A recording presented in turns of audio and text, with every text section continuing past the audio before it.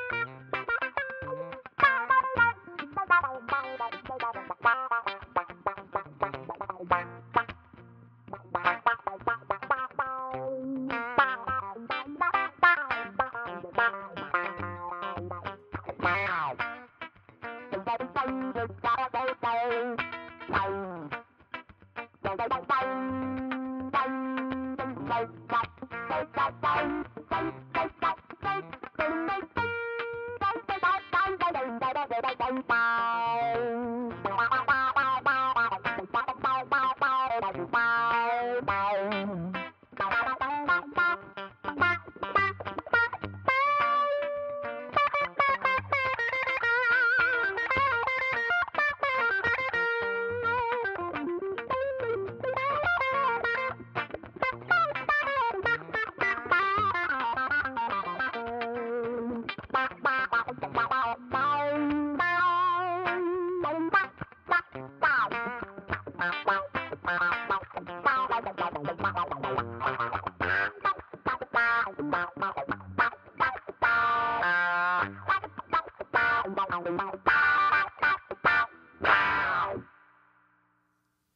Man, I gotta say, these pedals are putting me in a goofy, goofy mood.